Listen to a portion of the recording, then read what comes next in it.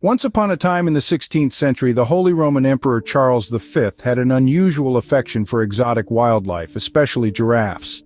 This fascination led to a unique chapter in history when he received a giraffe as a gift from the ruler of Egypt in 1552. This wasn't any ordinary giraffe, but Zarafa, the first of her kind to grace Europe with her presence in over a thousand years. Zarafa's journey from Africa to Naples was nothing short of extraordinary.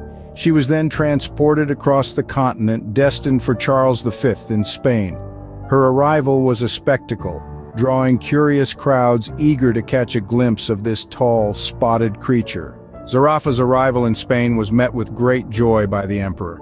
In her honor he held grand feasts and festivities, marking the occasion with pomp and splendor. But Zarafa wasn't initially on board with the European way of life.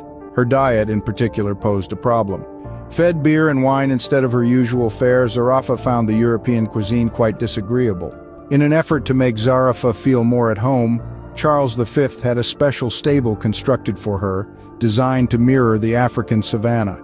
He even went as far as importing trees and plants from Africa and enlisting a Nubian servant to care for her. Zarafa's presence in the court of Charles V wasn't just a novelty, it became a symbol of prestige and power.